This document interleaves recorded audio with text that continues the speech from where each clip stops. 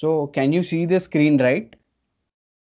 Yes. You can see the screen, right? Okay, you can see the presentation open, right? Yes, sir. Yeah.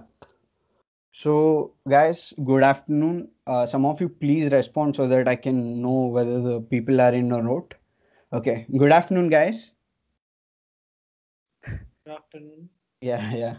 Well, so today uh, our main topic of discussion, which is a continuation of yesterday, is especially the types of machine learning methods, and then we'll have a look on supervised learning, supervised machine learning, and unsupervised machine learning, and then we'll have a look on most popular machine learning techniques used.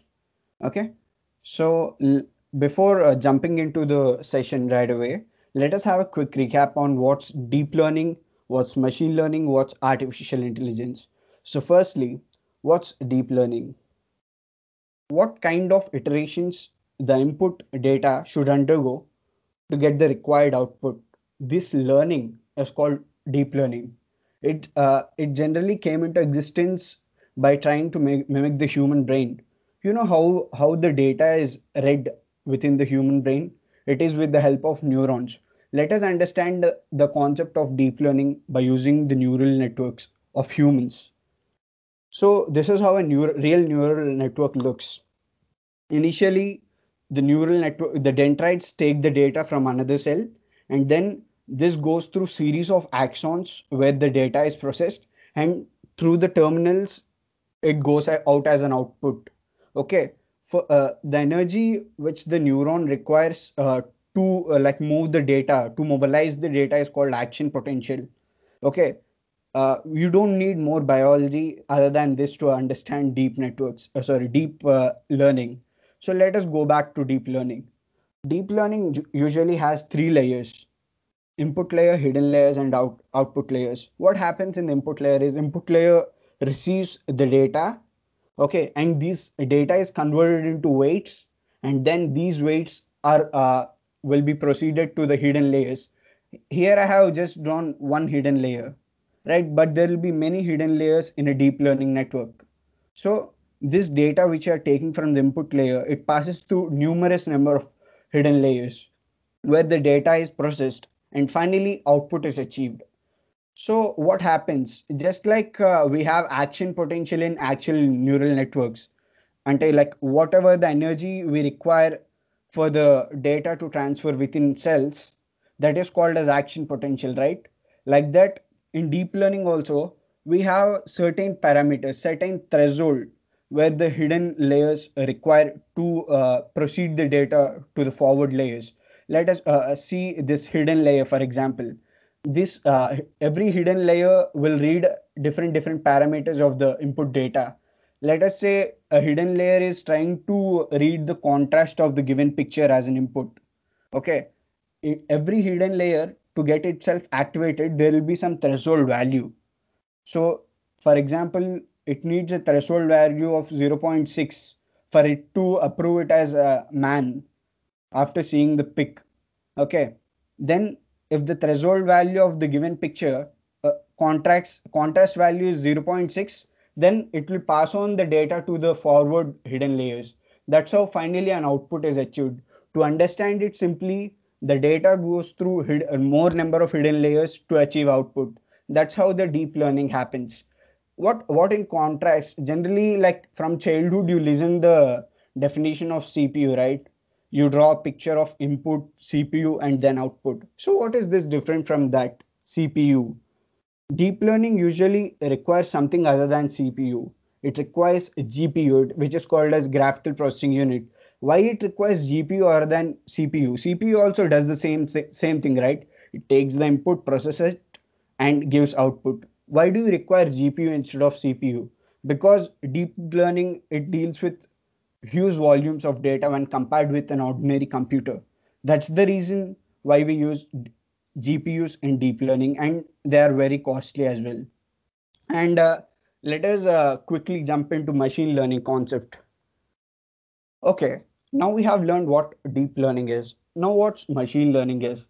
Other than the definition which I have uh, made it here, I would like to explain deep machine learning in other words, as Kalyan said machine learning is generally like whenever you see this term you get confused in future after this presentation i tell you but uh, mind me saying this always try to buy hard this if you like see the word machine learning the word itself says uh, machine needs to learn. Remember like that.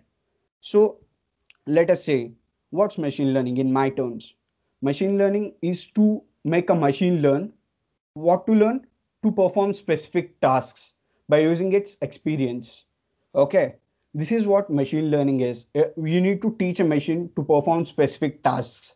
And now what this definition says uh, like apart from all the english that i'm uh, like kept on the slide just remember only these points. Enhanced tasks and performance measure will give the machine more experience through which it can perform better. For example let us say like uh, the machine is taught to play chess. At the first time it might not play well. And after that uh, by playing on the machine gets improved experience through which it can play better than the previous time. So this is what machine learning is generally. Okay. These concepts are actually like uh, invented or discovered what can i tell you? Uh, they were already there from 1950s like okay why did they suddenly come into existence? Is anybody there? Why did machine learning or artificial intelligence what are the terms that you're talking about why did they actually come into existence yeah kalyan are you there yes yes Varun. Uh, yeah we know that uh, CERN is an organization in which uh, uh, it is the it, it started the first website with the hypertext. So Yeah.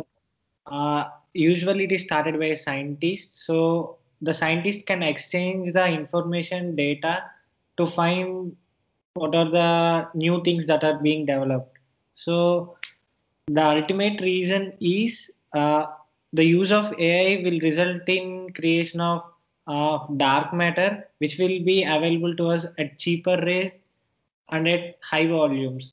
So, which Yeah. is an uh, fuel for many things like uh, to run, uh, as Praveen sir has said that uh, whole India can uh, can function with the uh, a day of electricity with one ounce of uh, sorry uh, one ounce of dark matter per day. yeah So I think it is the ultimate reason why artificial intelligence is being stressed that much. Yeah, fine. So, according to what you said, uh, the CERN is trying to uh, extract the dark matter through which the world might run, right? But uh, I have a point here. The dark matter, like the CERN thing, is so private. uh, It is so private, as you know. Like until now, to be honest, as a person, as a nomad who is living with no connection with the world, I have no uh, idea on what CERN is. And I, I believe strongly that many businessmen over the small scale to medium scale businessmen, they don't have idea on what CERN is. But what I believe why this artificial intelligence and uh, these things came into existence is what you said is absolutely correct, but that stands true for the people who know. But for the people who doesn't know, I believe that there was no data back then right? When the internet was just started there used to be many businesses. But uh, there was no data to implement all these right? But now if you see due to the advent of internet or whatever there is numerous of data like i can uh, uh, like terminize it uh, term it as uh, big bigger data. The it is more larger than big data. So by using that data you can derive more valuable insights. So why not use artificial intelligence which was in the wardrobe till now? So i feel that this is the reason why it is becoming famous now instead of uh, though it was invented back then. Yeah so obviously i already told about machine learning which is nothing but the experience uh, which a machine learns through a series of tasks and performance measures. Okay. And now, what is artificial intelligence? Generally, what happens in machine learning? a, ma- a machine gets an experience of how to perform a task right this happens in machine learning whereas in artificial intelligence I, i'd rather say artificial intelligence as an experience rather than just a definition. I say the machine which is experiencing has to act upon the experience right? For example i have an experience of uh, not to drink water if it is above certain degrees centigrade. This is my experience. Whenever you give me a water above my limit i won't drink i'm acting upon my experience right? This ex- uh, acting upon experience this effect is called artificial intelligence. And yeah is there anybody else other than kalyan in the call? Please respond if you're at least a yes. Yes, Varun. yeah salman i'm happy to hear that. So wh- what are the types of machine learning? There are generally three types of machine learning supervised, unsupervised, and reinforcement machine learning. In fact, there are other types of machine learning as well. But the, for the time being, these three are more than enough for us to learn. And then we'll, uh, we'll definitely focus on the other types of machine learning. Firstly, what supervised machine learning is. Generally, uh, in a supervised machine learning, it describes a class of problem that involves a model a model is used where to the model initially both the input as well as output are given. And then by using this series of inputs and outputs it will have to predict the outputs in future. Let us say uh, to explain you more clearly there will be a model through which a data which contains input and outputs are given okay? And then in future again some other inputs other than the, this initial data are given so that it will predict outputs.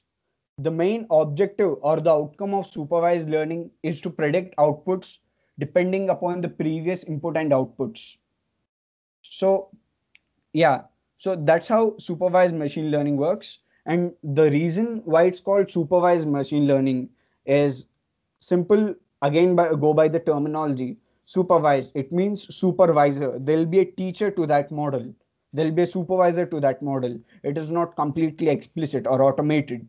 So that's the reason it is called supervised learning. And uh, coming to the supervised learning, there are two types of multi, uh, machine learning problems which predominantly occur. I can tell you uh, there are two types of solving those problems instead of mentioning them as problems in the supervised machine learning. The two types are one, classification, and two, regression what, what what's classification? Generally it involves uh, what uh, like i had already told you machine learning it involves supervised machine learning it involves prediction right?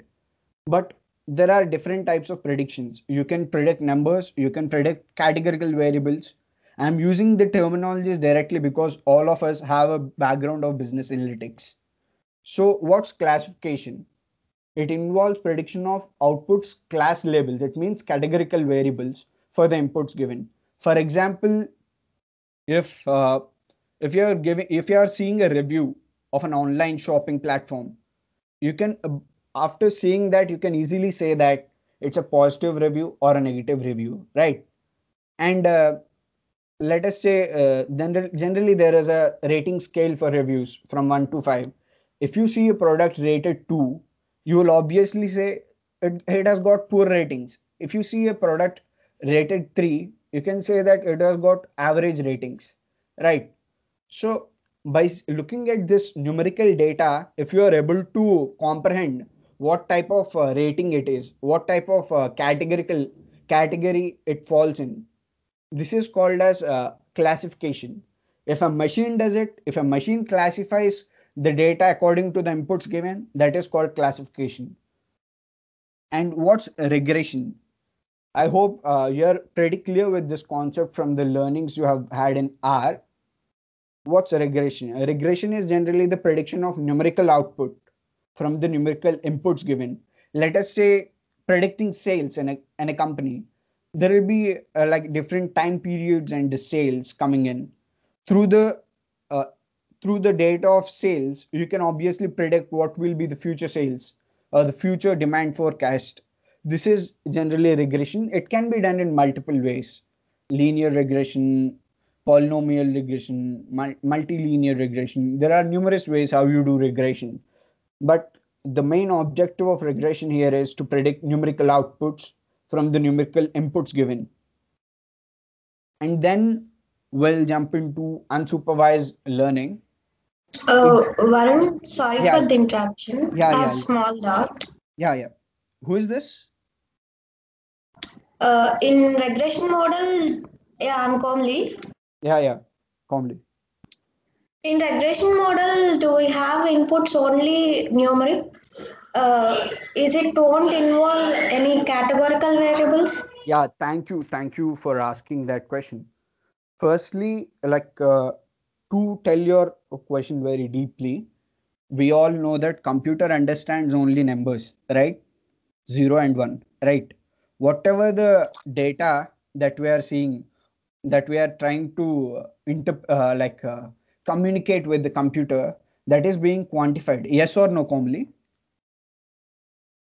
Komli, are you there? Yes, I'll agree that. Yeah, Yeah, I'm yeah, yeah in regression it is not that only numerical outputs. I'm sorry i've used that word and i'm thanking you for you asking me this question.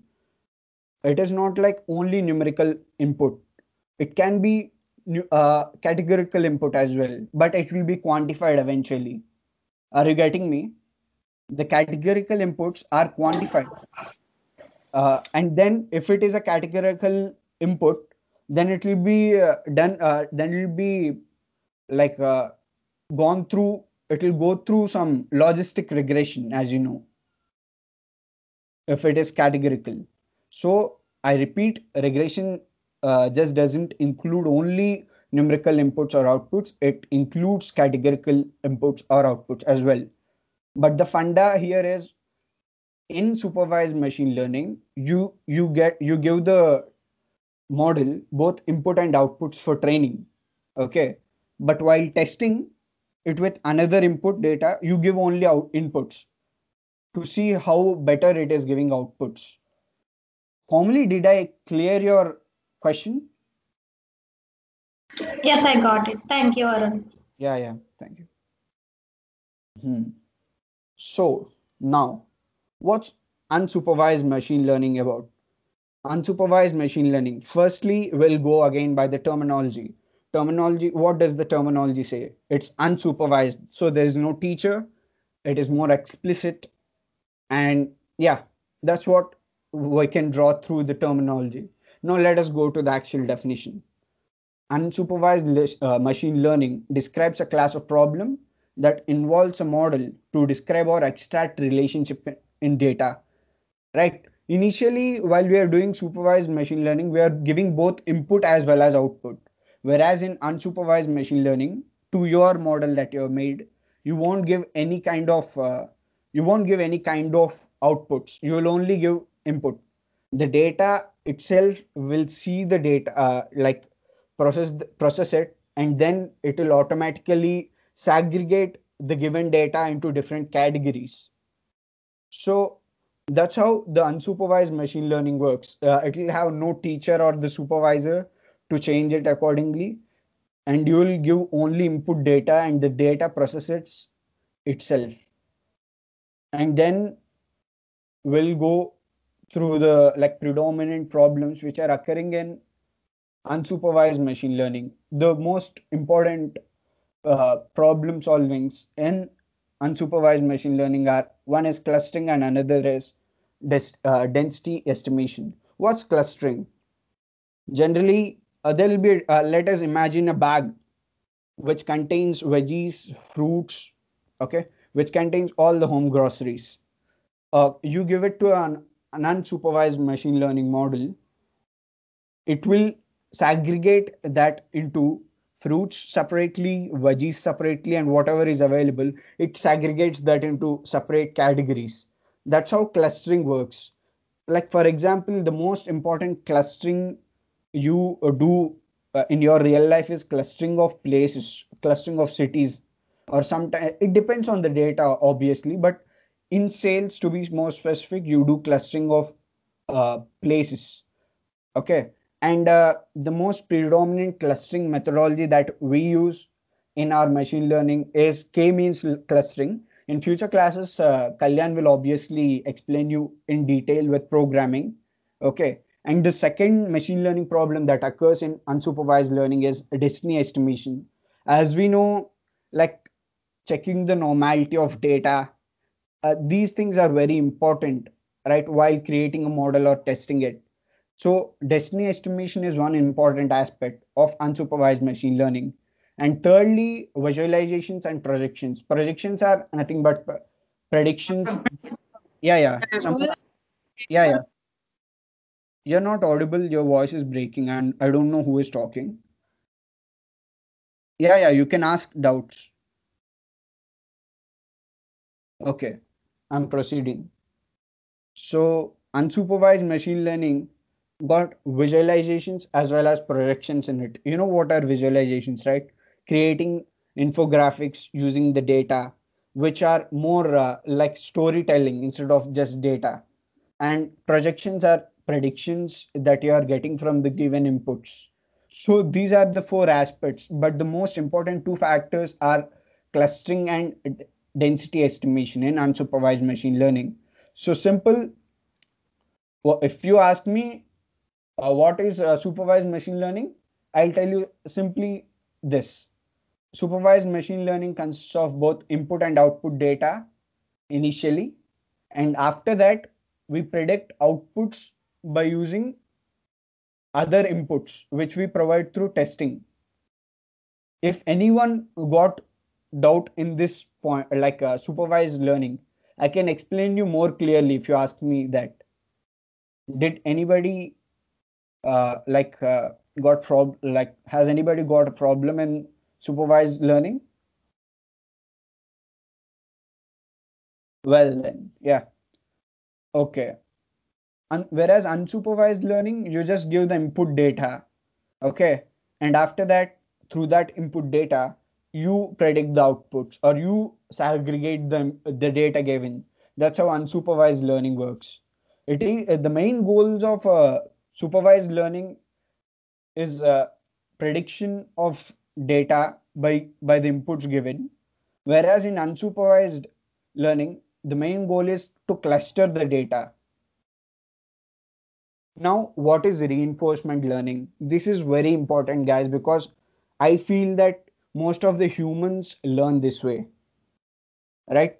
So generally i'm just taking an example. In my childhood uh, my my father used to stop me to jump into like some uh, pits or something whatever are there on lands land holes he used to stop me.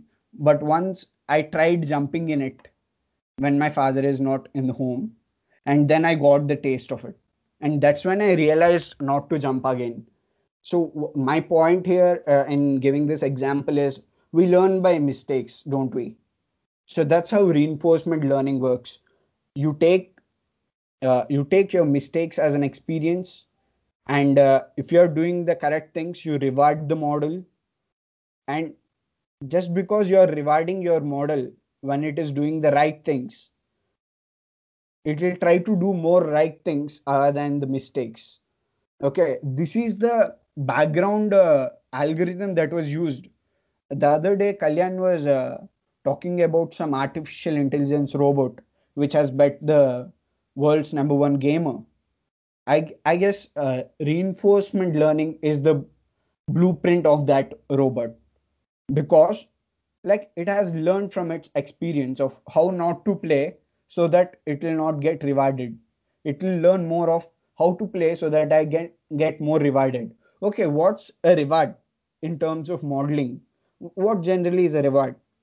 You will set goals in a model okay? You'll uh, try to make a model so that the model uh, will uh, frequently try to reach the goal set in this process it will uh, improve its accuracy of reaching the goal that's how reinforcement learning works i will uh, give you a video through which you can understand more uh, clearly about reinforcement learning guys can you see the video playing can anybody respond please Yes, sir. Yeah, yeah. So you can see a rooster over there, right?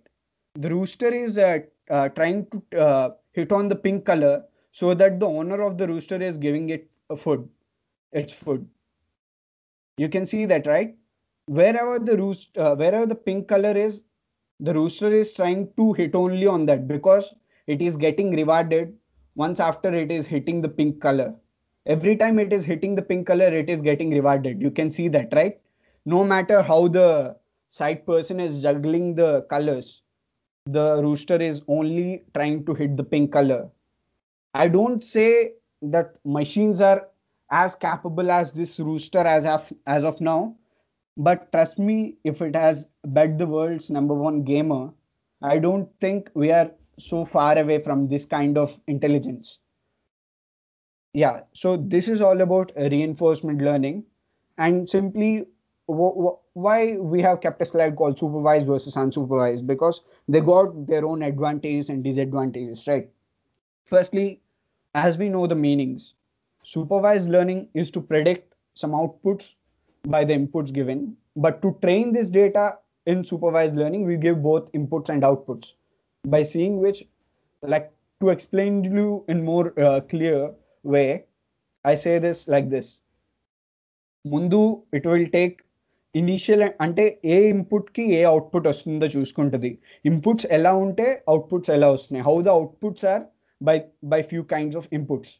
And then after getting trained, it will be given some random inputs so that it will give some random outputs. Then they will check for uh, error, how, how good the model is. That's how the supervised machine learning works. Whereas in unsupervised machine learning, there will be no master, just the data is given and this aggregation happens. But why is unsupervised machine learning used? Because not all the data that you are getting, it is categorized, right? Most of the times you get the unstructured format of data. So that's the reason where that's the uh, like time where the unsupervised learning comes into the picture. So that's all about supervised learning versus unsupervised machine learning like other the other differences are just definitions but but the main definition is the point of usage the point of usage is when the data is not available in a categorical format we use unsupervised machine learning because it makes our work easy. It it will classify it automatically. And now coming to the most popular techniques in ml for the first technique is regression. As we like already talked about regression i don't think i'll mention it again. It is generally uh, creating models to predict values let us say like i i guess you're all good with mathematics uh, i i suppose you all know the line equation right if two points are given we all know how to derive a line equation from that there is a formula for that right that is generally the linear regression that you have done in your childhood. Similarly, by using the different set of parameters, we try to derive a model. That is regression. Okay. The main reason why regression is uh, used in machine learning. Yesterday, as Kalyan said, we use both data as well as outputs to get the program, right? To get that program, you use regression. And Nextly, classification. Classification is classification of class labels, like what category the output falls into. Right. But here in the classification, this classification means it in supervised machine learning. Here uh, you don't you give both input and output data, whereas in clustering you give only input data. It will classify automatically. It will classify on itself and dimensionality reduction. Let us say uh, Varun is good boy. Sorry, let us leave Varun. Uh, okay, Ram is good boy. Ram is obedient. Ram is punctual. Okay, these are the three uh, attributes of Ram. But instead of using these three attributes, I can use single word called Ram is organized instead of using those three because organized means being neat, being punctual. being good. Generally, these three elements are more uh, correlated. But these instead of using these three in your model and making it big and confusing, you can simply use one term instead of these three things. That is called dimensionality reduction. You will uh, learn more about dimensionality reduction in factor analysis, which I suppose you have already learned in R. What is ensemble methods?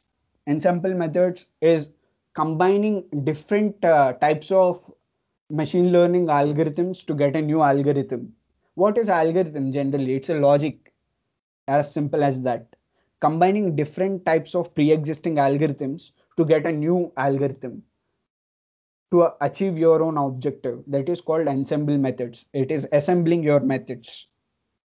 And what are neural networks and deep learning? We have already seen what are neural networks and deep learning. And what's transfer learning? Generally, let us say you have made a program to identify, oh, sorry, to classify t-shirts, round neck t-shirts, v-neck t-shirts. Okay, you have made a program.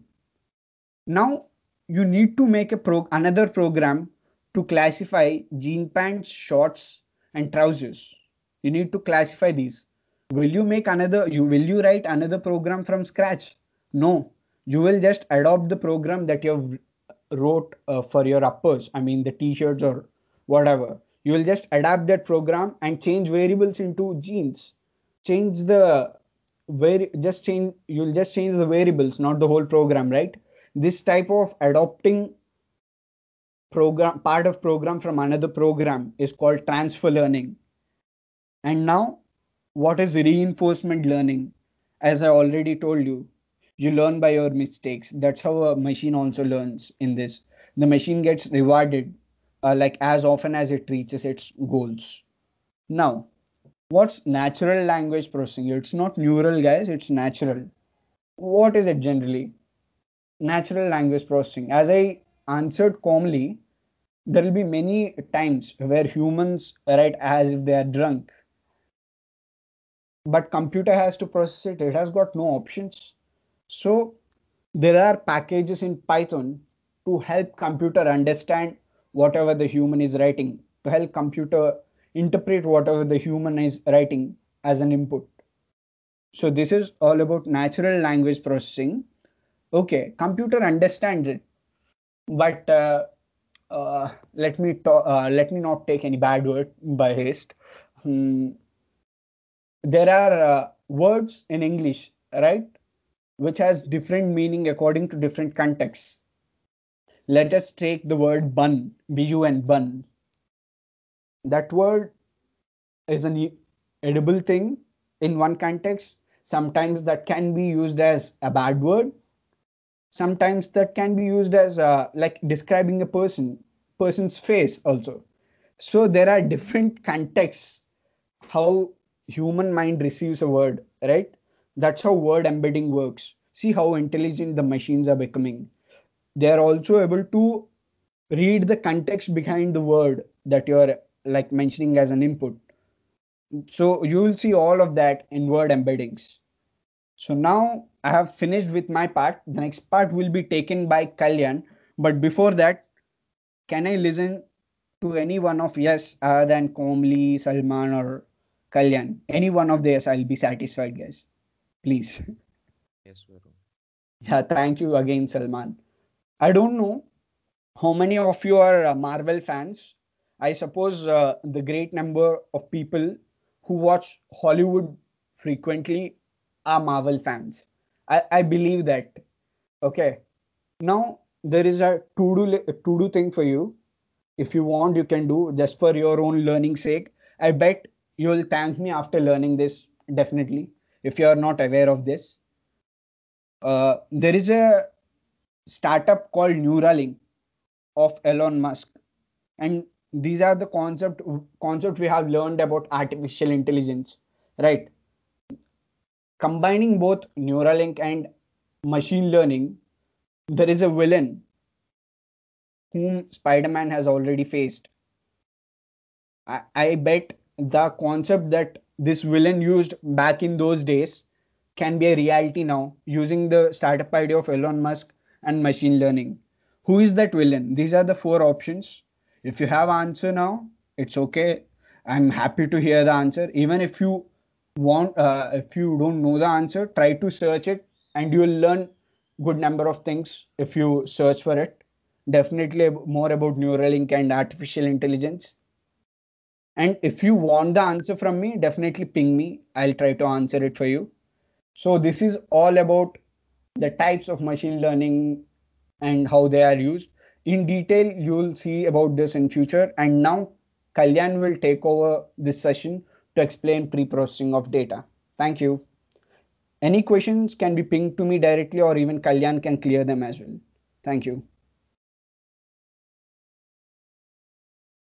Thank you.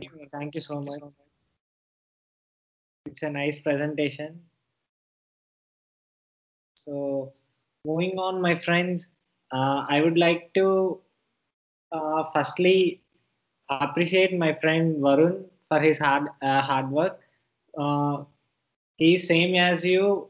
Uh, he's learning uh, step by step, but initiation is the best thing. So I thank Varun once again.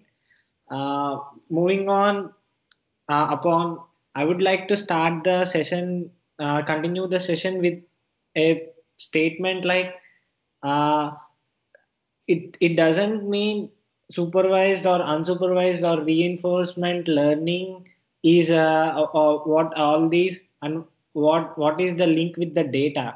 So i would like to explain the link that is uh, that is going to happen is like a data. Let's assume a data.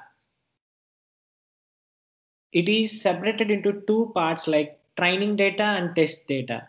So train data means the the model is developed based upon the train data. That is where everything is same but we are just splitting the data into two parts like train data and test data. Train data is used to train the model so that we are giving the inputs as well as outputs. Okay by taking this input we are we are trying to achieve that output. So the data is already being used by the model. So again to test the model how how well the model has been trained we are using the test data. In test data we are having inputs as well as outputs but uh, but we will not give outputs to the model. We just give the inputs we ask the machine like okay you have already trained the previous data. So okay take this sample test data inputs and give me some output. Uh, uh, as upon the model has been trained uh, it will take the input and predict some output. So here we will test like what is the output the machine is giving and what is the actual output we will compare both the uh, test results and we can say okay uh, uh, let us assume some accuracy like 98% accuracy has been achieved.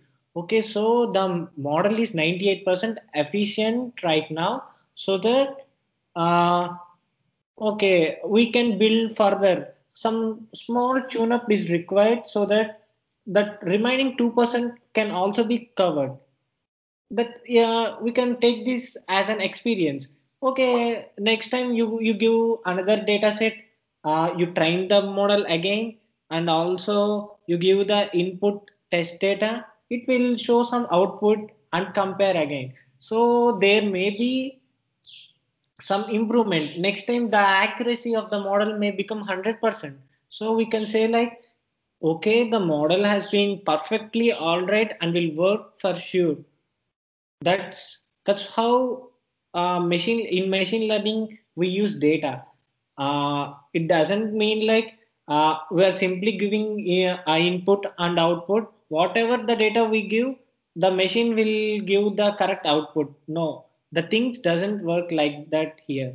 We need to test the model also so that we, we, we must clearly specify that the model has been trained up to 100% so that the model is very very very efficient. Uh, it's it's okay like uh, based upon some factors the model may not train in the first instinct to the 100% based upon the data that is given. Uh, the, those fluctuations may happen due to the unstructured data. So the data uh, must be in a structured that is organized form so that the machine can learn easily. Uh, so moving on i would like to start my presentation on data processing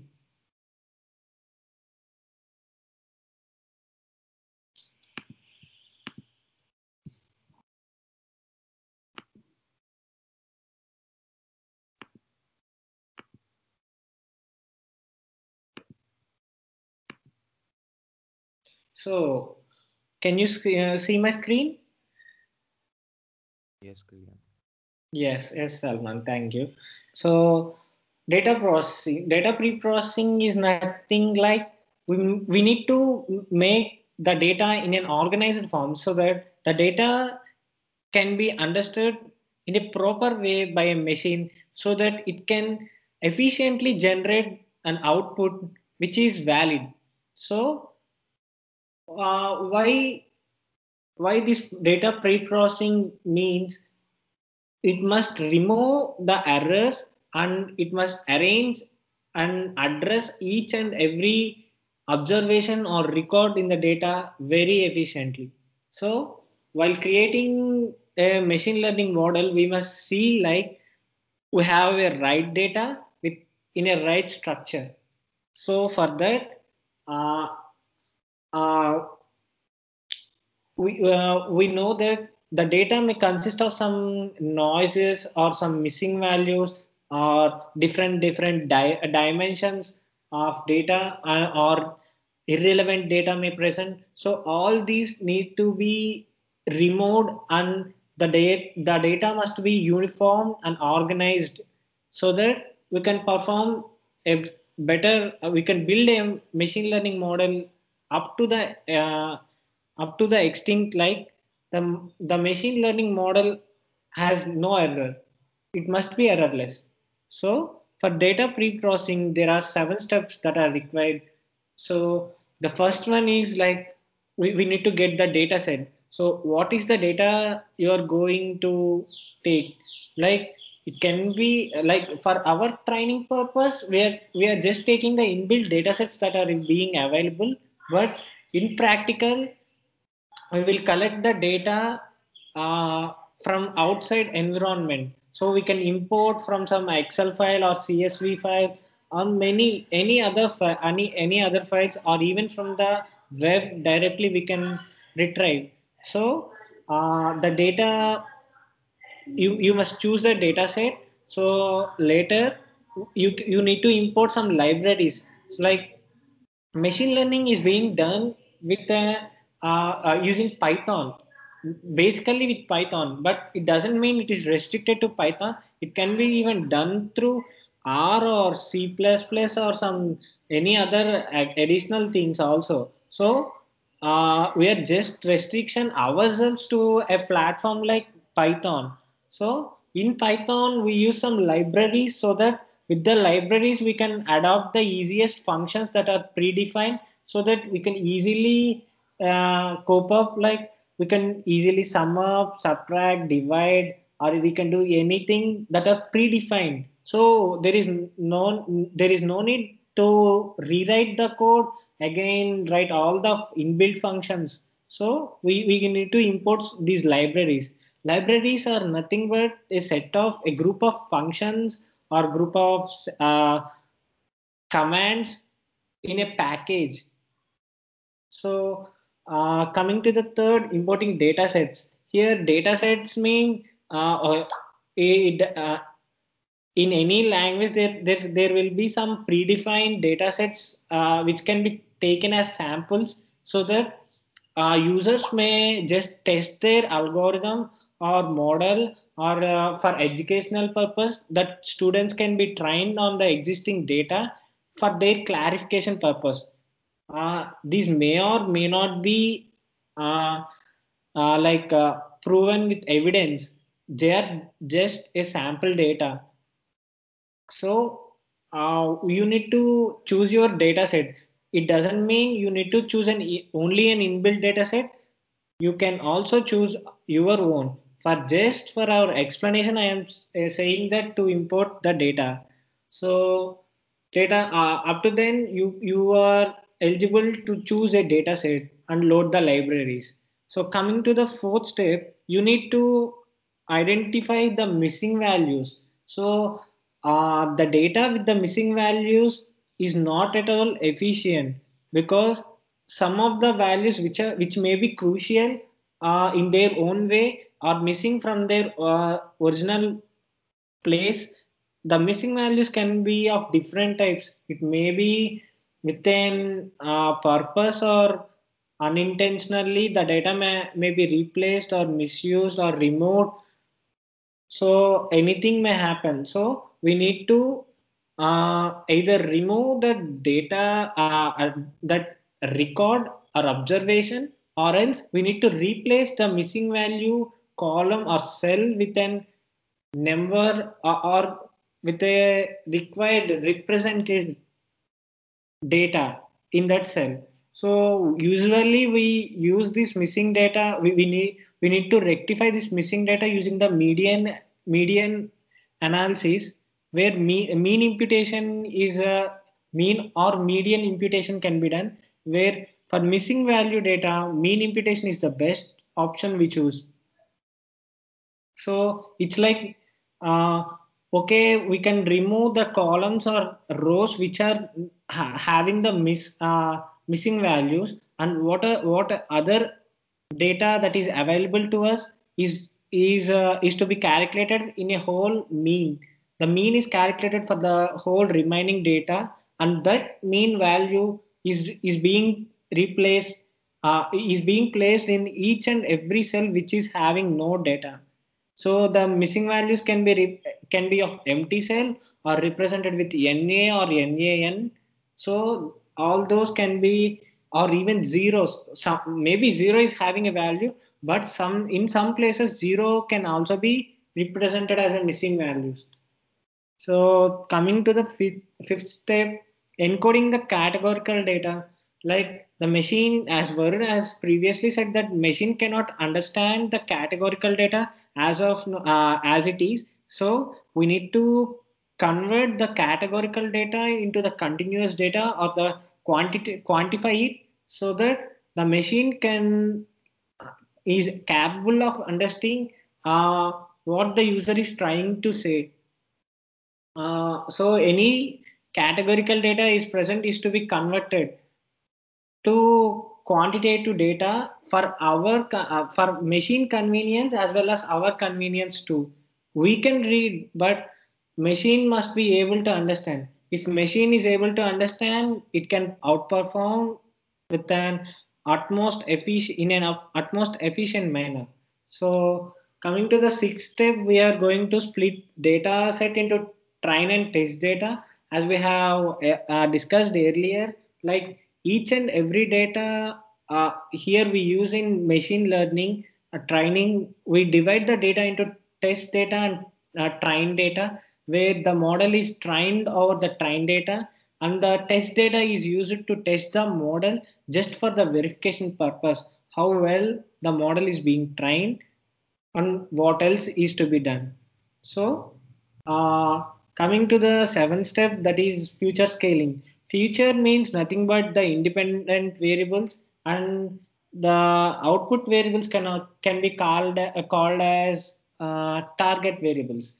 So remember these two names which we, which we will be using in further classes like features means independent variables, target means dependent variables. Features are nothing but uh, which will be, uh, there will be no uh, interrelation between those variables and but the target variables that is output variables are dependable on these feature variables that is input uh, that is independent variables. So here in feature scaling we are dividing the data like uh, even if you if you split the data into train data as well as test data even in those train data you will separate the dependent variables and independent variables. Like all the features can be taken into one variable all the target variables can be taken into another variable. So that we can say that these are the input variables these are the output variables. Yesterday in yesterday's training in previous training class we have discussed that we are giving both input data and output data so that the machine can build its own program for its functionality so here we need to specify what is the input what is the output so that the machine can understand what's going on so for that purpose we, we need to feature scale that is, we need to separate the independent variables, we need to separate the dependent variables. That's how the data pre-processing is done. And I will practically show you how, how we can achieve this up to feature scaling. I will today, I will discuss up to feature scaling.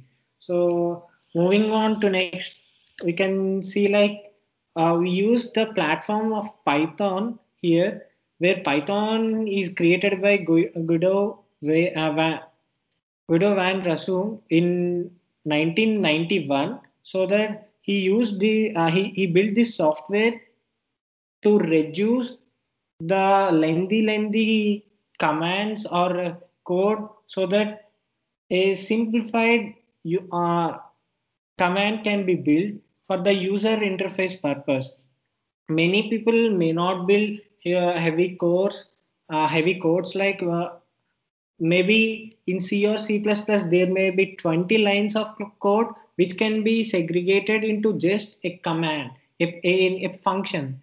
Uh, so for that purpose, uh, our, uh, our, our founder Guido van Rossum has found that why can't we de uh, develop a software where the people uh, will be fond of using with a just a function. So upon the purpose, he built Python, which we are being, which have been the current high level programming language, which is being uh, mostly used all across the globe. In future, you can see that it can replace many other softwares uh, because of its ease of use.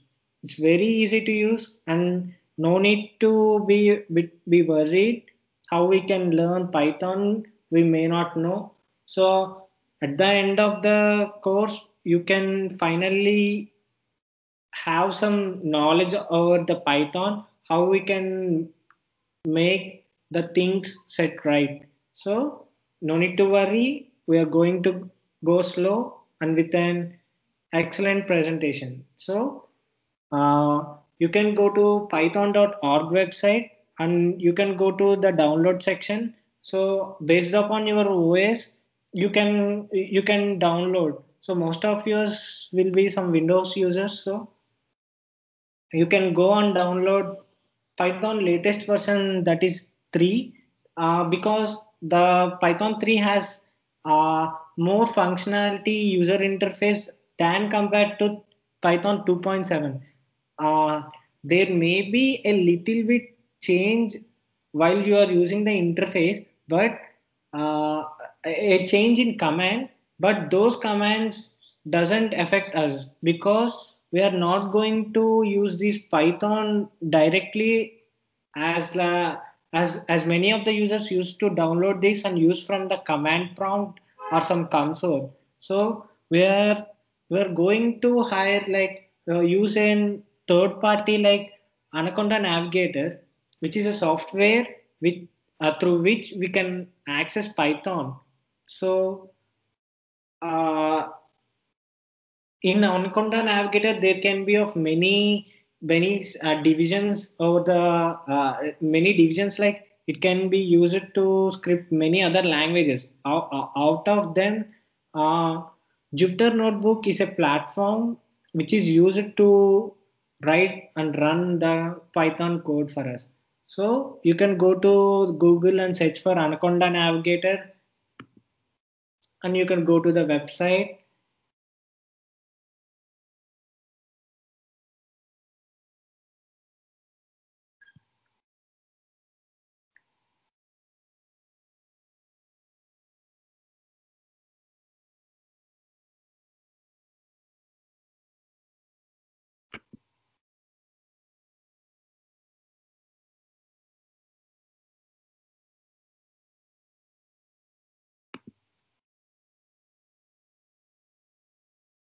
Okay, then uh, you can go to Anaconda individual edition and then you can download Anaconda by clicking here download Anaconda.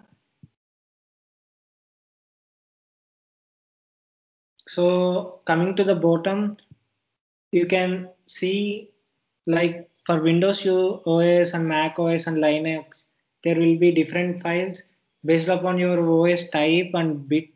So you can download it.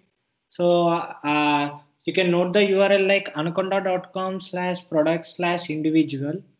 So which can be used to download the software and get it installed. There will be many videos on YouTube that will help you to install as I have uh, installed earlier. Uh, I will run the software for you once again. So you will have an idea. So this is the Anaconda Navigator which I am using. So let's open it.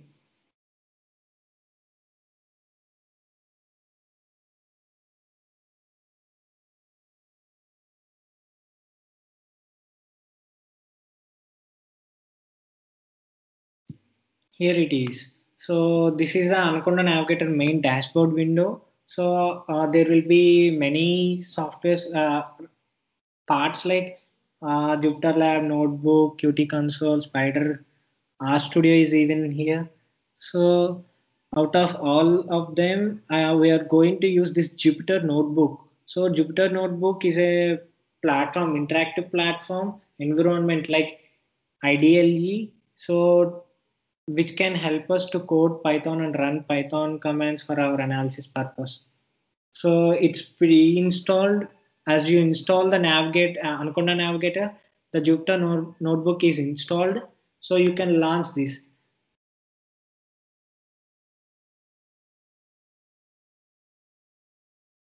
So here it is.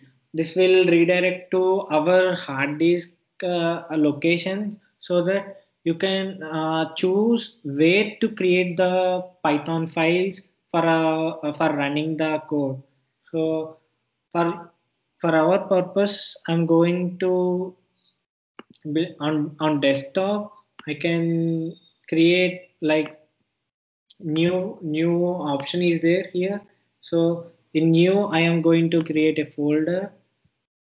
So in this untitled folder, we can create a Python file using going to new again and going to Python 3. Here is the window which which states that we are we, we have opened a file. Okay, this is this will be the Python file. So generally it is created with with an extension called i.py and b that is ipython notebook so you can rename it as like training. Just it, it's an heading. So this window will be a file edit where you can save the files or you can open the previous files and edit function used to cut copy paste the cells delete the cells and split the cells you can uh, can go to view toolbar upon your graphic interface. You can change this where insert c is used to while we are writing a command you can insert a cell above or you can insert a cell below.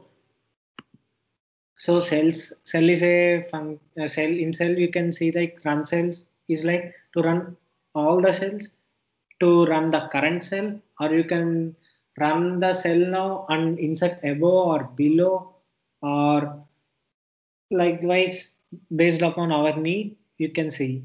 So kernel means kernel is like an engine uh, which we upon which this jupyter notebook is being operated.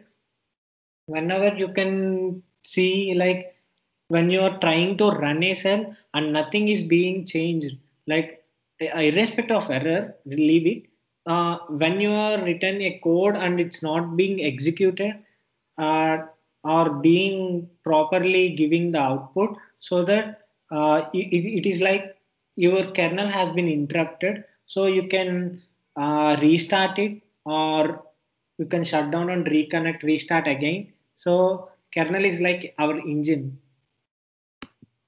Mm, widgets means like some gadget type which can be used upon our purpose.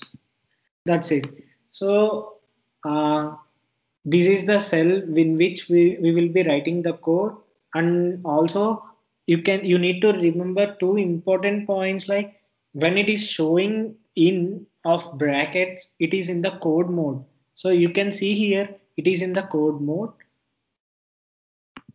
whereas in code mode the whatever you write it will execute as a code. So when you are changing this to the markdown mode whatever you write like hi how are you? this will be of text. So you return it and if you enter run it will be saved as a text. So uh, every time when you create a cell it will be created in a code mode only. So you can you can leave it in the code mode if you are going to write a code. Or you can change it to the markdown mode if you are going to write some text only but not a code. It is up to your your functionality your usage. So this is how jupyter notebook work. So there will be some set of shortcut commands which we will be using. Out of them we will uh, I can say some mainly like to run the cell, we can use uh, control plus enter. That is on your systems like Windows, it will be control enter. Uh, so, and also you can, the basic function key is here escape. Maybe in any of the softwares you have not used escape, but here we are going to use escape here. So uh, escape plus A is inserting a cell above and escape plus B is like uh, uh, like uh, entering a cell, creating a new cell below. So above and below that is escape A and inserting a cell below escape plus B. If you are going to delete the scale, if you want to delete the scale, cell it means escape plus dd you need to press d two times so that the cell will be deleted. And for if you are going to run current cell it's control plus enter as i said earlier. If you are going to run the current cell and also create a cell below you can you need to mark it like uh, shift enter so that it will execute the current cell and then jump to the next cell. It will create an additional cell below and then the you can write code in the next cell. So these will be the basics. Upon this, you can learn many other in our training session. So let's come quickly start with the libraries. So what are the libraries? So let's markdown mode. Remember one hash will be of big size heading like heading two hashes will be of small size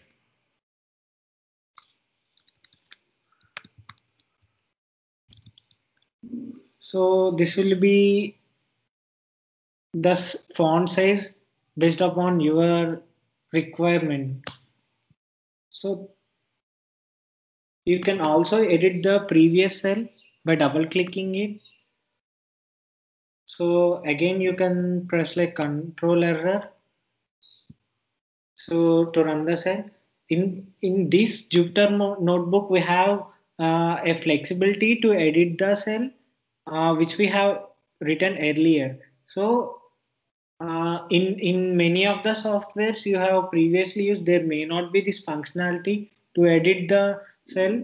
Uh, if you have written any code in mistake or any co uh, any error has occurred the error will be uh, present there and then you will be continuing with, with the new command line again running. So it will be like a messy thing where every time you create the uh, the user interface may not be properly visual visual and for our in, uh, user interface purpose this Jupyter notebook is very useful so that if any mistake happen you can re-edit the code and re-run the cell again. So there will be like libraries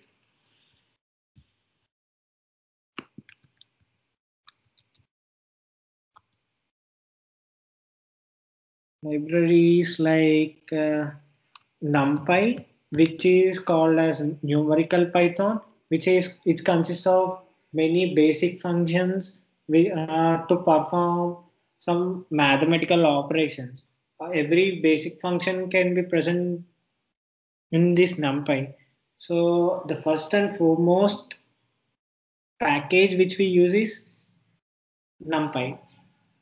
So second one can be pandas which is panel data structures which we which it's it's continue uh, which contains different set of functions which gives the python the capability of analyzing uh, and building the models. Previously in python there there I, there is a capability of only analyzing but with the with the pandas library the Python can be used to model, recreate, manipulate, process, and also visualize.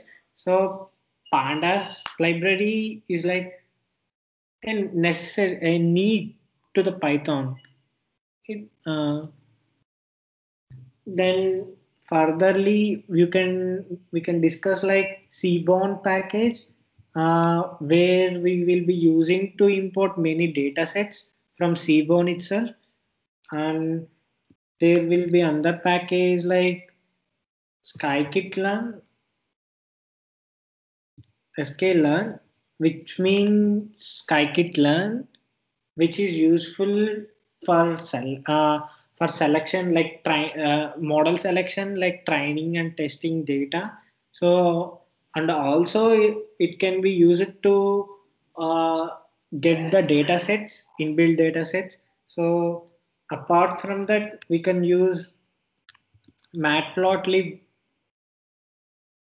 uh, uh, matplotlib dot uh, it's, it, it is used to visualize the graphs or any data uh, using the python plot. So matplotlib is usually for data visualization purpose and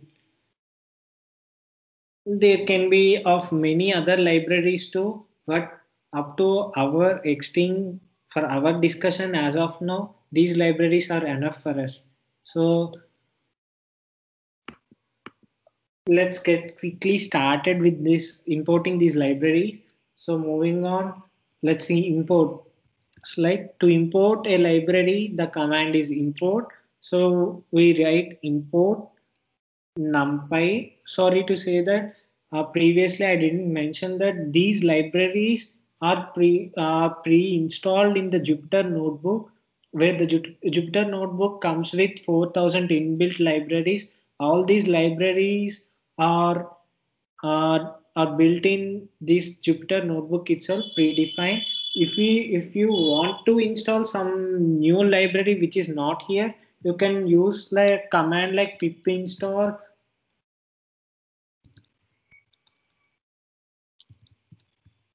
pip install and like uh, library name. There is no need to write like uh, uh, braces here. So pip space install space the library which you want you can just write that command and just click enter. Whatever library you are willing to use the library will be installed and stored so that you can use again and again. Uh, so as of now, these libraries are previously installed. We are just going to import them.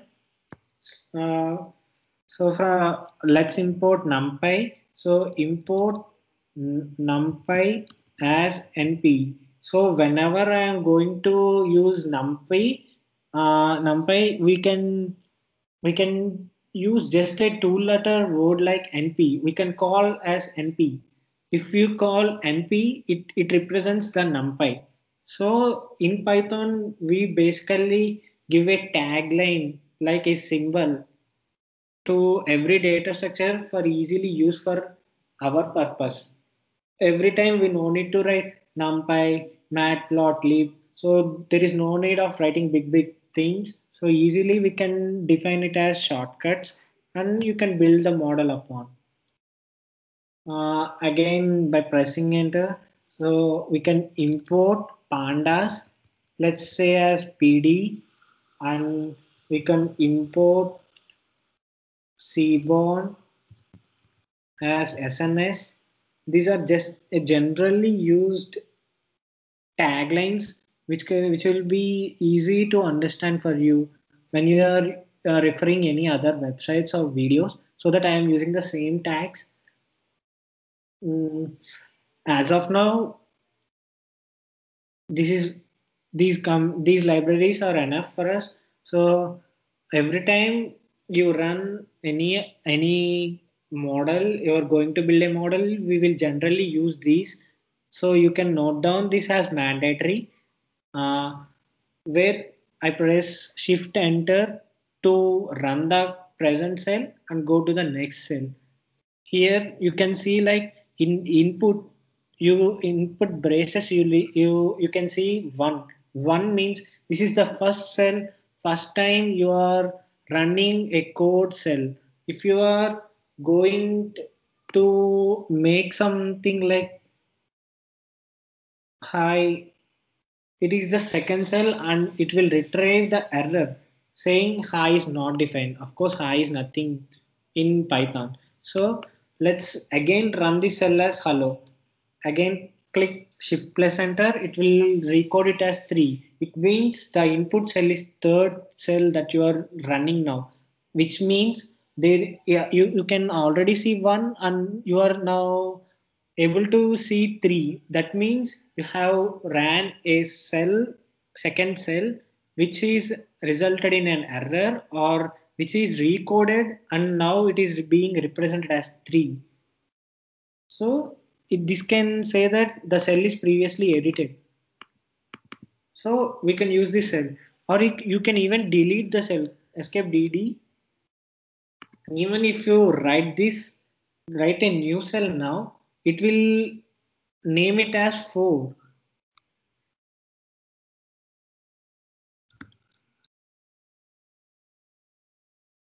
See, now the cell is coded as 4 because we have already created two other cells and deleted them. So the current cell we are running is fourth cell. It's just for our purpose for identification like previously the cell uh, is being reused. Okay, now going on to the next thing, we need to import some libraries, so, sorry, data sets. So previously of your use, you may or may not aware of some uh, data inbuilt data sets like iris package, tips package, mtcars, also the packages which we use in R, RStudio or R can be imported to Python here. So out of them, I will be importing iris dataset for today's purpose for just for your understanding you know what is iris and i will also explain again what is iris dataset so let's say we, we we create a variable like iris we need to store the data which we are being imported into iris. So I named the file as iris. Iris here is a variable which is uh, which will store the data which is present in iris dataset. So iris equal to uh, let's say we we know that packages or uh, data sets are present in Seaborn package and the tagline for Seaborn we have uh, represented as SNS. So SNS is the, will be the tagline for us. So we will be using SNS dot in SNS in Seaborn. If you want to import any data set, you need to use the command like load underscore dataset of bracket in braces. You need to enter the dataset. It can be of single quotes or double quotes. No, no, more, no problem. Whatever the quotes, it doesn't matter. So it, it need to be represented in code as it is a uh, string. Every string need to be represented in quotes for sure. So uh, let's say iris and enter shift enter. So you can see like the command has been successfully run so that the iris dataset is stored in the variable name iris. If you replace this iris as data, it can be stored in data also. For our convenience, to not get confused, I am storing it in iris. So let's visualize it. Iris, shift enter. You can see like it, it has from 0 to 149 rows with five columns, which means 150 rows with five columns data is being generated here. So each value, each data is having its own data, each column and each row is, is being represented in a well organized and structured manner.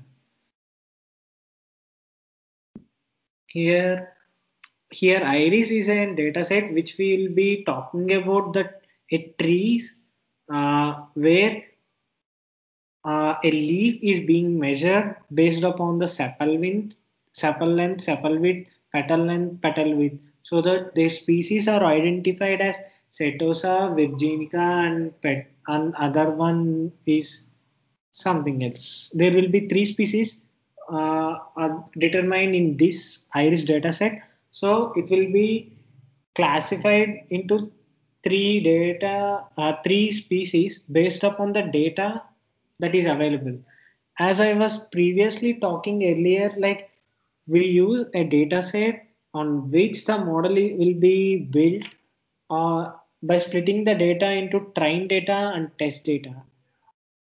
So using the uh, uh, let's say these four variables sepal length, sepal width, petal length, and petal width. So these four are the input variables.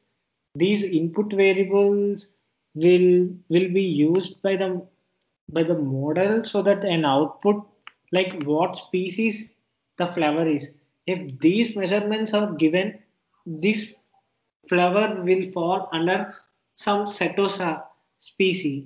If these, if another data is given, maybe this fall under virginica. So this this modeling is being done in the machine learning. So it will develop a program for that purpose.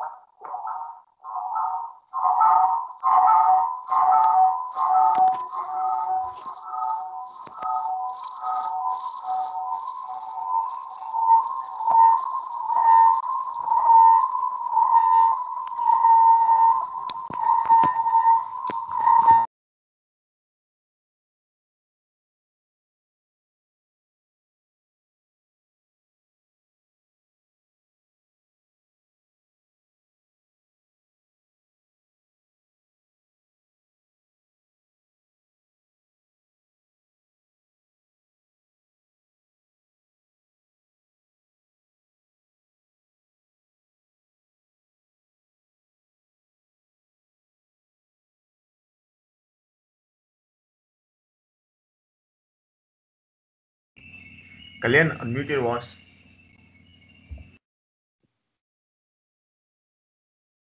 Sorry. Uh, so if you want to see the shape uh, of the iris data set, uh, we, you can use the command like iris dot shape, which retrieves like it has 150 rows and five columns where the indexing starts from zero. So it will end up with 149.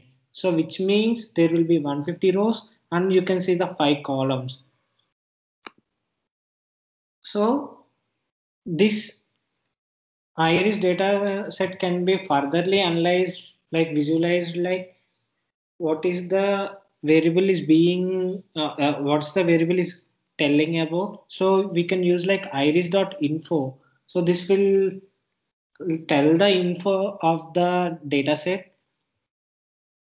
Like it is the panda score data frame. So the iris variable which we are using now is a data frame created uh, which has 150 entries from 0 to 149 so uh, it has column 0 even the column indexing is starts from 0 so uh, the first column is sepal length with 150 data sets and the structure of the data the data type is float. Float means which is having some decimal points integer is doesn't have any decimal points whereas float is a data type which have decimal points. And sepal with petal and petal with each of them are same. I mean in in info they are same. Coming to the species which we can see there will be three species in the data that is uh, that we have seen earlier. Uh, it's being as it is a uh, alphabetical in uh, in manner it will store it as object. Everything in python will be stored as an object. So python is represented as an object orient programming software. So that is called oops oops so that's uh, that's the info about the iris dataset so let's move on to the next thing. As we have discussed uh, in our problem like we have completed the data set importing libraries importing the data sets. So the next thing is like finding the missing values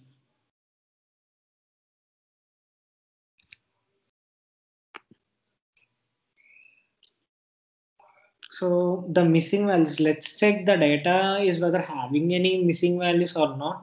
Usually the representation of the uh, of the missing values can be na or n uh, or null null anything can be used here. For my convenience i am using na that is not available or something which you can name it as. So na is represented as a null value here so let us take our data set. Iris dot is and na is the command which we use. So is is is na we are identifying whether the data is having any null values or not. So for that purpose we are entering is na or not. So is na off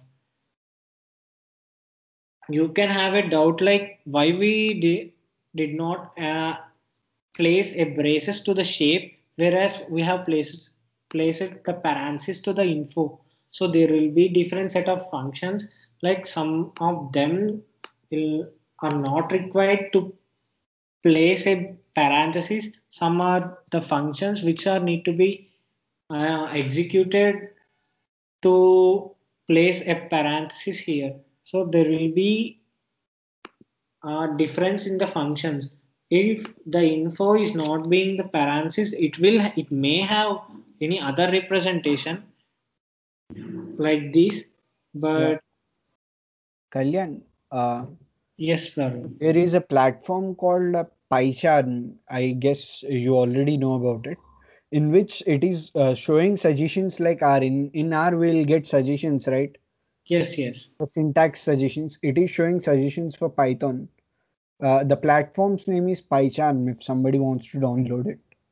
Yes varun but our purpose just it's an ide which we generally use. Most of them prefer jupyter notebook. Yeah. so for ease of use there is no need of installing python or not importing individually the libraries as every library is previously installed.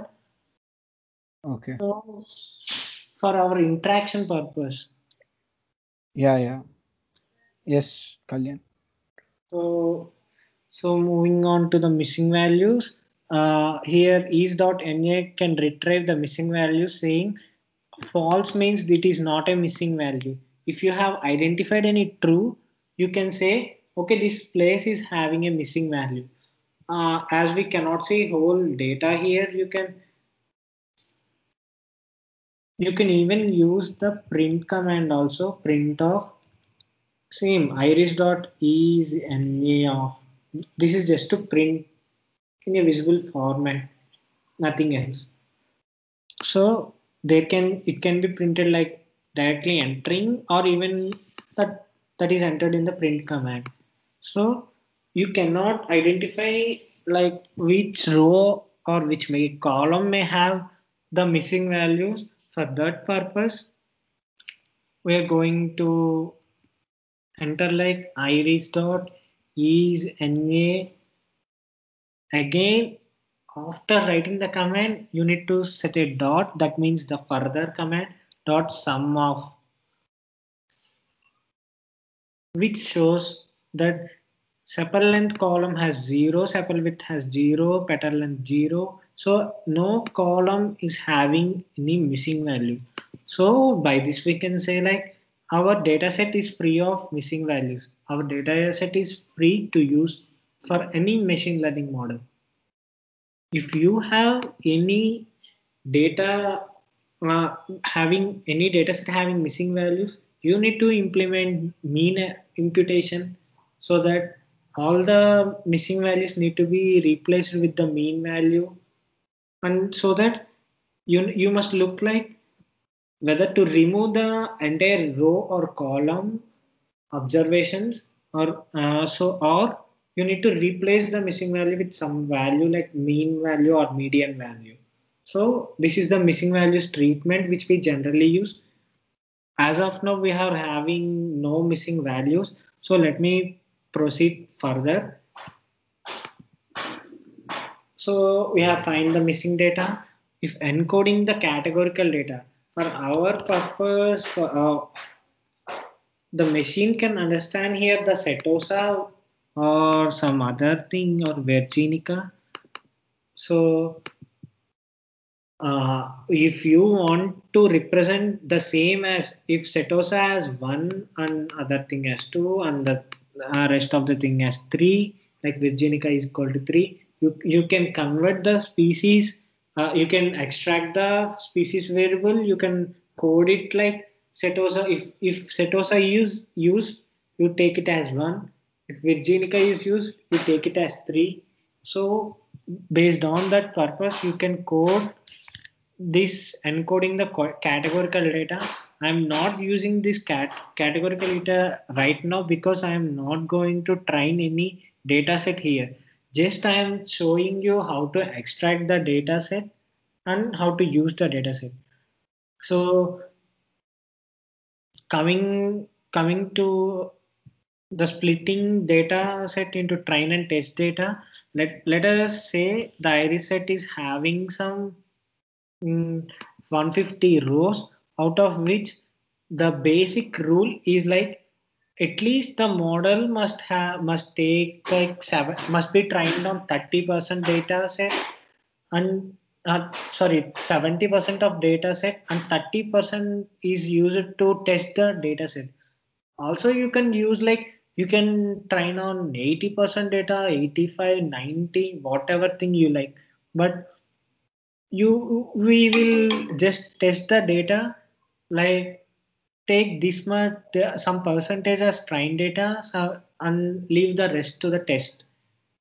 So based upon your purpose you can take on your requirement but in general people used to take 70% for the test training the data and 30% for testing the data. So you can say like in 0 to 150 so like 0 to 149 that is 150 rows uh, like 70% would be like 105 rows. Let us suppose or not 5 rows can be of 70% and remaining 45 rows can be used for testing the data testing the model. So it will be the test data. The first one of it may be or may not be first. It is the model selection what rows it will take as a train data it's uh, it's just a random picking we use here. If you want these rows to be train data only, you can take like the first 145 rows uh, can be train unless uh, remaining four will I will keep it as test. That's your convenience of using the data set. So uh, before going to select like train and test data, we need to separate the data set into feature variables and target variables. So I'm going to split the data here into two like all the feature variables that are independent variables are comes into one variable. All the dependent variables or target variables will be stored in another variable. So let me split it like uh, let us suppose an x x will be an independent variable a representation of all indep- independent variables so we take iris dataset dot we, we can we need like sepal length sepal width petal length petal width. So we need these four living species behind. So we need this. In python we can select using uh, like iris dot loc that is location function which can be used to represent like i need all rows. So a in is to mark is represented uh, in colon mark will represent I want all the rows if you want to enter. Let us say this is the basic structure of LOC. So LOC will retrieve the location where the first column represent like what is what are the rows you want to select. If you leave it as empty, it will select all the rows. That is from 0 to 149. Each and every row will be selected. If I select it as 1 to 10 it will take the rows from 1 1 to 10 so remember that the indexing is is done from 0 and these are exclusive. They will leave the last thing.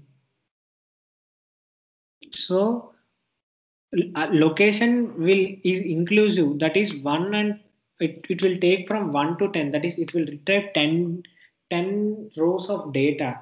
But in iloc if you use iloc that is addressing the value it is also a, a method to extract the data in which you uh, you can also retrieve the data but it will be exclusive. Here the 10 will be exclusive if you write it as 10 it will take up to 9 only leaving the 10 behind that is the rule which we uh, which which which makes a difference from LOC to ILOC. Uh, in ILOC, the rows can be of numbers, numeric, because uh, indexing happens with numbers. So the rows can be of numbers, but coming to the columns, you can you can take it like uh, the uh, what columns you would require, like sepal underscore length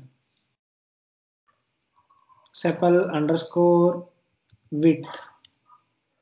So like that whatever columns you like you would like to add all the columns. Even if you write like uh, colon and give.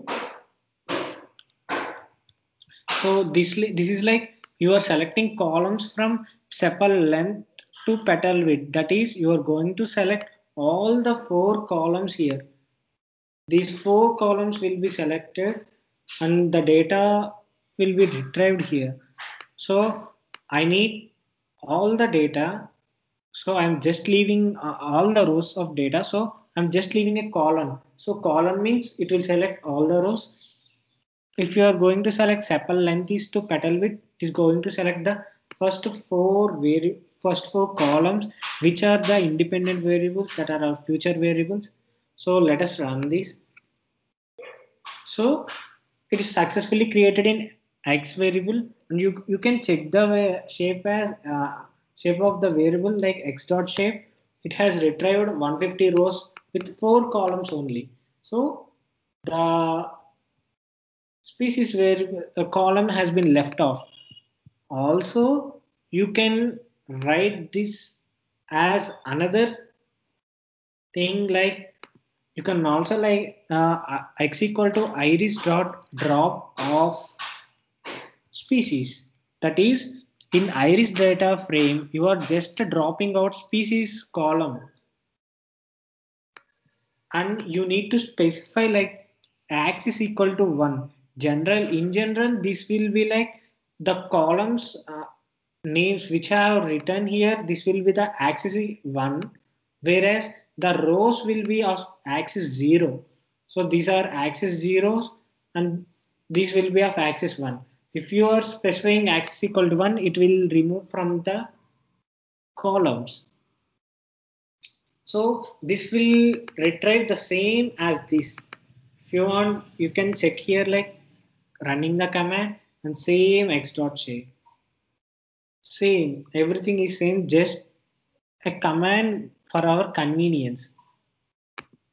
The same can be here retrieved using iloc also where in iloc if you use iloc you can see like here so i'm selecting all the rows but instead of representing with objects or in characters even the columns are are to be represented in numbers. So i will represent like 0 is to some 4 this one this one so i have ran the command iloc from all the rows and 0 to 4 means 0 1 2 3 only. The 4 number will be of exclusive. It will leave the 4 so 0 1 2 3 only it will come. So there will be a 4 rows that will be extracted which we have seen here 150 rows and 4 columns. So based upon our requirement on our ease of use you can run the commands in many ways. So I, I will be using like this. And moving further uh, let's extract like y equal to iris dot species. It's just simple just selecting a one column. You can extract like in iris you need species. So let us check y. Y dot shape 150 rows. Simple as it.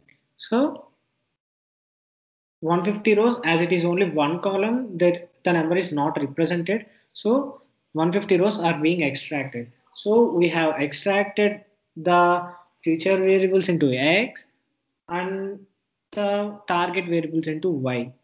So the feature scaling is done. Now the process is to split the data into training and testing of data. So let us split the model. For splitting the model into train and test, we require the data, the library called sklearn.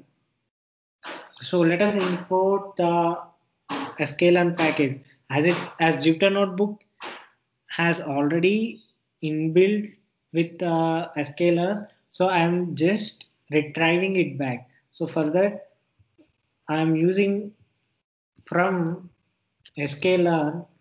We are going to import model underscore ah, sorry, from sklearn dot model underscore selection.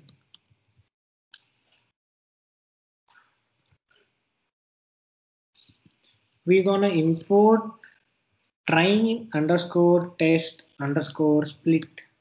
This is the function that is predefined in the sklearn in the sklearn package. Model selection is an uh, also a, a part in that the train underscore test underscore split is a function that is predefined which will split the data into train data sets and test data sets. So for ease of our use, we are importing this model. You can identify these commands through through across the web. There will be many sites that will be listing what are the commands available in such a package or such a library. So train test split is available in model underscore selection package of sklearn. So let's let's run it. Okay, it's successfully run. So the main thing is like we need to divide the feature variables into train and test data set. We need to divide the target variable that is out, output variable y into train and test data set. So every data set is make, uh, made into four parts equally. Whatever the train data set you are having, this uh, of the feature variables, the same amount of train uh, test uh, train target variable is to be maintained. Let us show. Let, let me show by running like x is divided into x train comma x underscore test. So previously we are having 150 rows. Now the 150 rows will be divided into two, two parts. Okay. Then let us split the y also. So y underscore train comma y underscore test. So we are going to create the four variables here. Remember x will be split into further two more and y will be split into further two more. So there will be out of four variables will be created using the train underscore test underscore split function. So the four variables equal to train underscore test underscore split of split of we are using the x variable to split into two so and y variable to split into two. So here x is a feature variable, y will be our target variable. So x comma y. We here we are going to specify the train size. As I mentioned earlier, in general we are we are going to take 70% of data into the train data set and 30 into the test. So for train size, I'm going to specify like 0.7 so 0.7 means 70% here. Out of 1, 0.7 is like 70%. So train size will be of 0.7. If you want to specify the test, you can also specify the test. The leftover will be the other. If I was going to specify that test size equal to 0.3, this is also same as train size equal to 0.7 you can represent both or you can leave off with one as of now anything can be used. For your convenience let me take train. I'm training over 70% of data. So training equal to 0.7 which is same as test underscore size equal to 0.3 so comma just a little command like random underscore state equal to any number. Let, let me say one it, it is like uniform like division. Let us suppose varun raven or some other person like salman mehboob subhani. So all of you are performing on the same data set let us suppose. So uh, everyone must get the same output. For that purpose we are uh, everyone will select like random underscore state equal to one so that the data uh, like the algorithm like train underscore test underscore split will take these specific rows so that everyone will be having same data with them.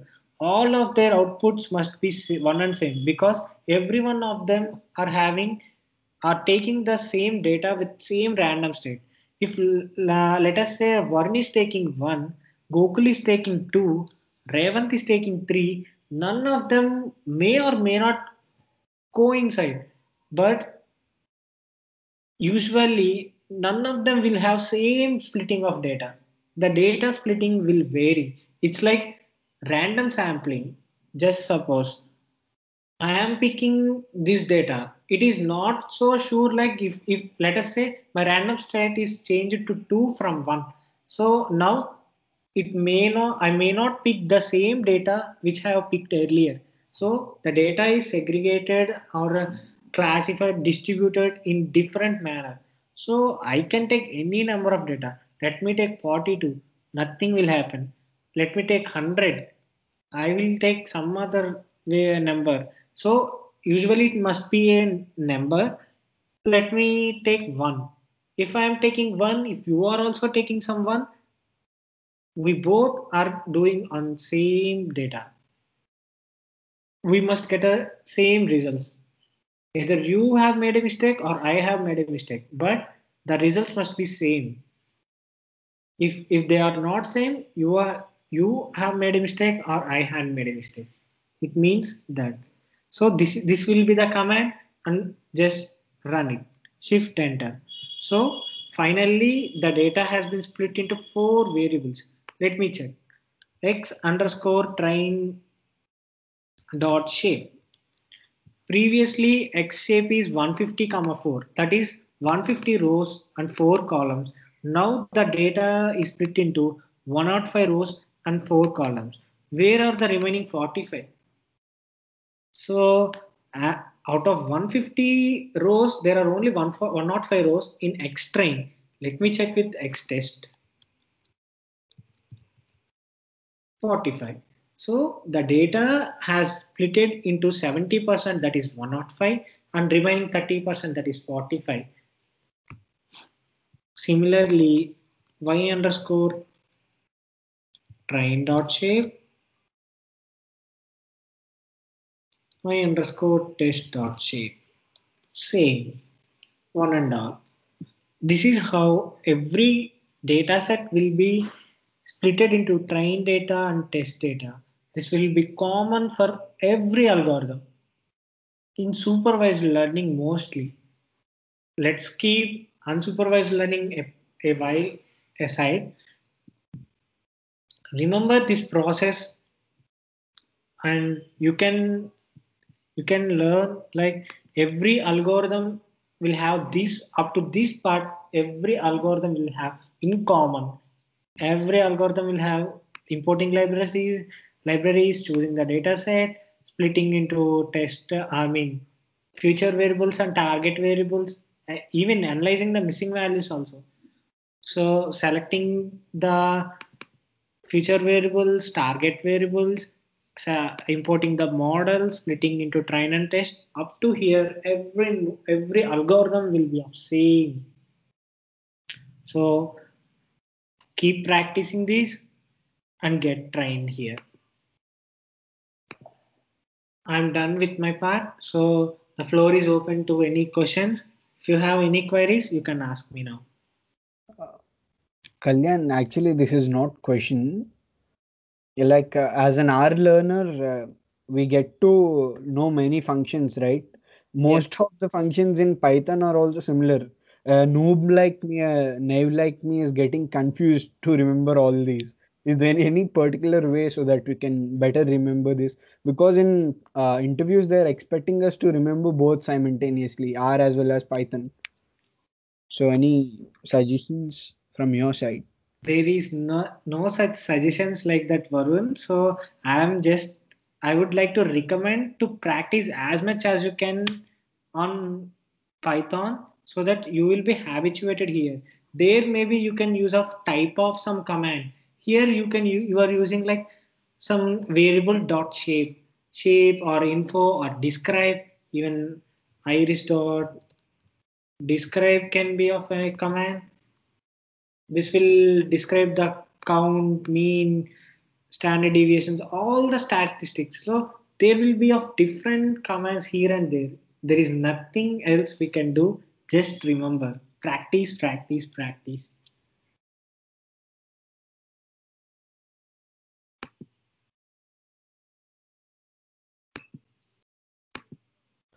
I'm done with my question or doubts. So, anyone having any other queries?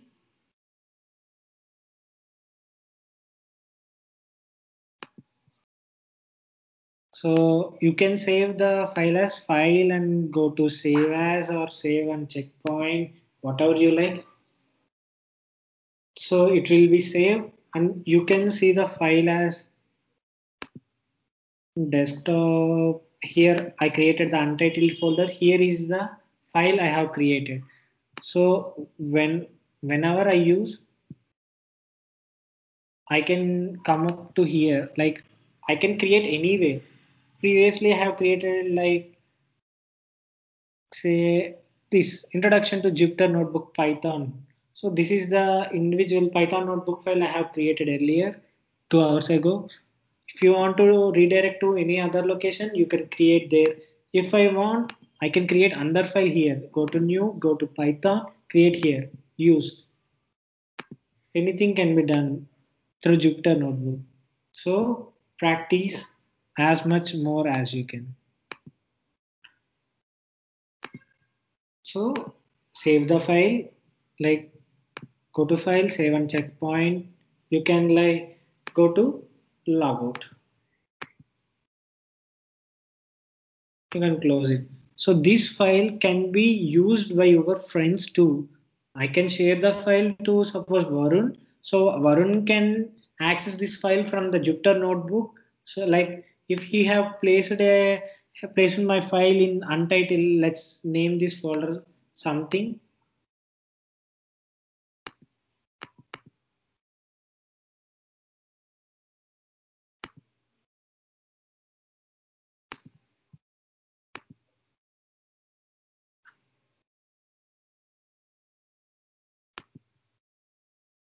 So let's go to desktop and I, I can rename this folder.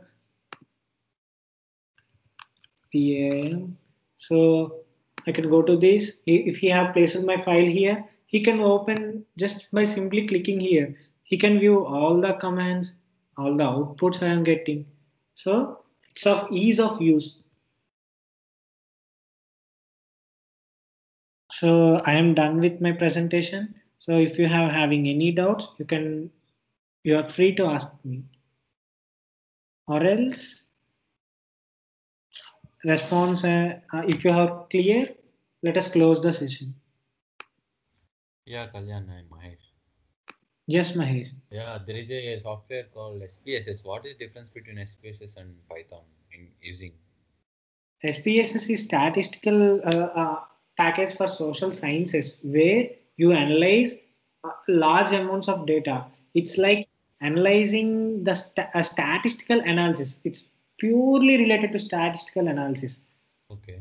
Okay, where n number of observations like big data analysis can be imported. Big data can be imported to SPSS, uh, and which will be analyzed. It will perform like chi-square test, uh, ANOVA, and many statistic, F uh, statistic, P statistic, Z statistic tests, and also some graphs to visualize.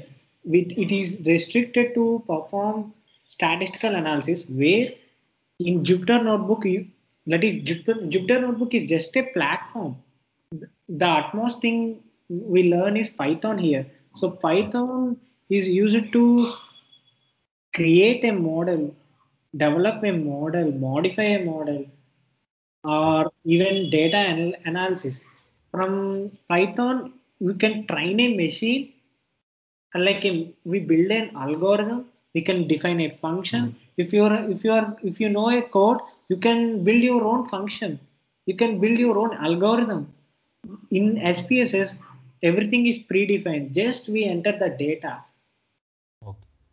So that's the difference between lot of difference between SPSS and Python. Okay. Okay. Any further questions? Um, Kalyan, I don't have any question for you, but I have a question for Varun. Uh, Varun, can I ask you? Yeah, yeah, yeah. Uh, like you mentioned that there are uh, different types of uh, ML apart from uh, supervised and supervised and uh, reinforcement, right? Yeah, yeah. Uh, can you please name the other types? I thought like uh, there exists only three types of machine learning. No, actually, there are, uh, to be more specific, there are three only. But combination of uh, these three, there are different, uh, like you can combine both supervised as well as reinforcement. They the combinations has uh, derived some other. Yeah, yeah, Kalyan. So commonly you uh, as of to up to now we can say like uh, supervised unsupervised or else reinforced learning. Mm, just just uh, upon a school of thought. According to a school of thought there may be three of now. According to others per perspective there can be of six. Like supervised uh, uh, semi supervised uh, learning semi unsupervised learning there can be of different types just a difference in school of thought Exactly, like uh, the semi-supervised, uh, some other like supervised learning called as hybrid supervised learning. So, like, I will be sharing that link. You can go through so that you will get more idea of some other. Thank you. Yeah. Hey guys, like I I noticed that uh, many of them were active, but I really uh, I really feel it uh, better if you answer my question of Spider-Man. There are four villains which I have mentioned.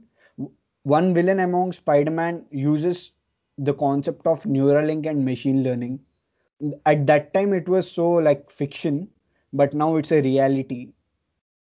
Like, try uh, kindly give it a check. Definitely, you'll find it amazing. Yeah, it is an octopus, right? Yeah, Doctor Octopus. It is. He he, he uses such a machine learning. In fact, that is pure artificial intelligence because the hands will control on themselves. The hands will have their own feelings uh, than what a doctor will have. Thank you, Mahesh. Uh, Kalyan, I have a question. ha komali ha aparna tell me tell me Uh, uh, Kalyan, tell, can you tell me the difference between list and tuples in Python? Okay. Uh, list can be which can be mutable uh, or li- li- like it is a having a series like uh, a series of data you can store different set of uh, types of variables like a number or an string or an another thing a float can be stored or a logic can be stored in series. So uh, in tuple, uh, uh, the list will be of uh, the list can be changed, whereas the tuple cannot be changed. It, it is not reusable or editable. So that will be uh, that will be the only difference between list and tuple. A list can be used in a tuple, but uh, list can be edited, but the tuple cannot be edited. These will be uh, there will be other sets other types also like sets and dictionaries. We will be explaining this with, uh, in further classes more specifically. So no need to worry, my friend. We are here. Thank you, Kalyan. Thank you much. So that's it for today. Or any other queries you can ask now.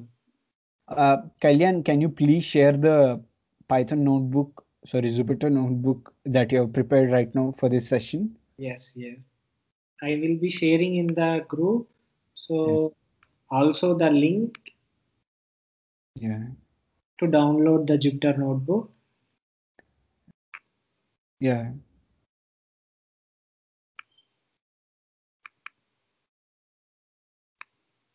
Okay, done. What else?